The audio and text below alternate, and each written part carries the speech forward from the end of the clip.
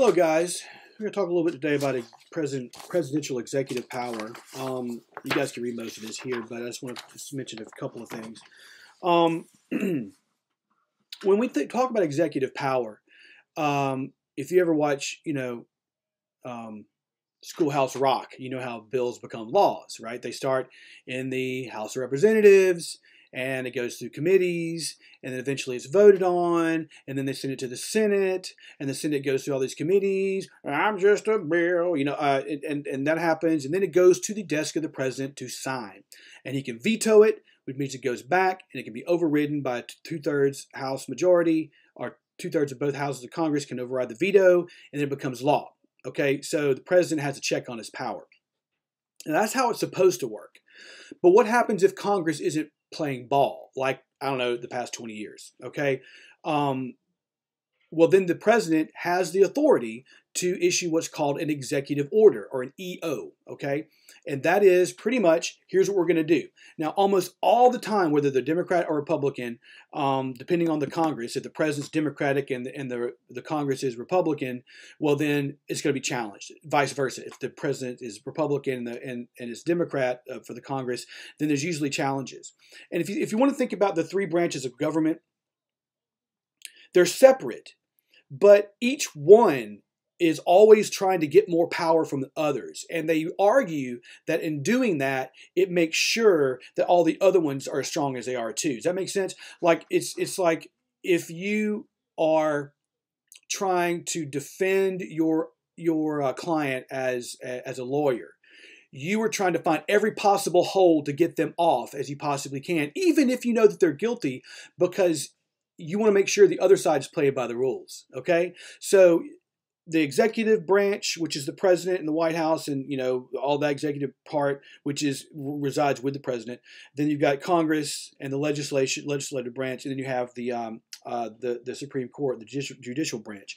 So each one's jockeying for power. Okay, um, and and that's a good thing because it keeps all of them on their toes and it keeps everybody, uh, in theory, at least.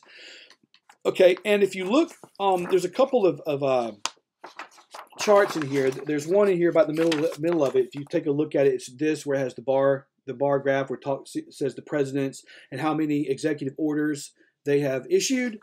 Um, if you look, it starts with Kennedy. It goes and Kennedy only had 214 because you know he was killed, and uh, Johnson and Nixon have in 300s because they were in the middle of the Vietnam War.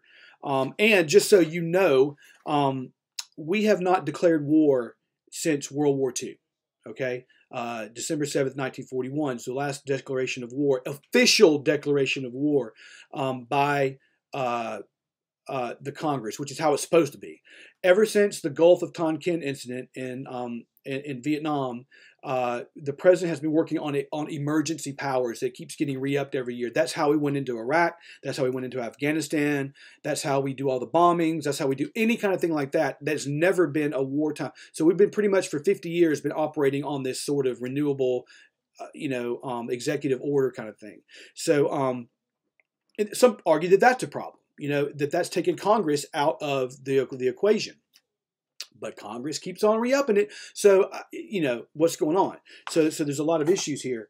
Uh, Ronald Reagan had 381, by far the biggest one. And that one of the reasons is Ronald Reagan, when he was president, the entire Congress, the Senate and the House of Representatives were, were both Democratic. In fact, they were Democratic for years.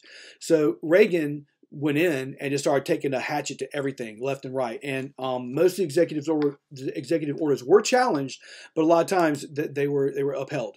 Okay, so um, but the question is, you know, does should the president and the reason why you have an executive branch with one person, the same reason you have a CEO, is because efficiency right? You want to have a deliberative body that talks about everything. You want to have a judi- you want to have an executive that says, "Okay, you del- deliberated it. Okay, boom, let's do it."